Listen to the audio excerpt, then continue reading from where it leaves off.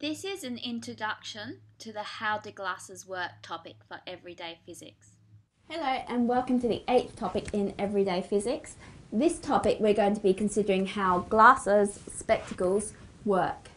So in order to consider how glasses work, we're going to start by considering the nature of light, what light actually is, and then we'll be looking at reflections.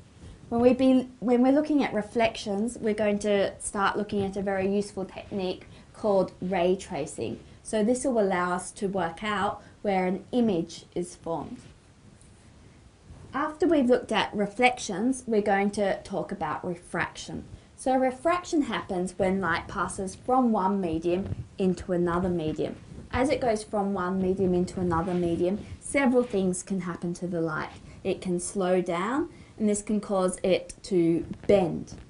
So refraction actually turns out to be why we can see rainbows, because different colours of light bend different amounts, and this causes them to actually be separated. So we're going to use refraction to explain why lenses work.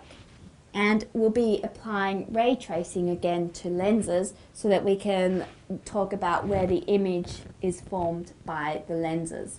Because glasses contain lenses and these help to focus the light on the back of our retinas. So if there's a problem in our eyes, the glasses can compensate for this and get the image in focus on the back of our retina.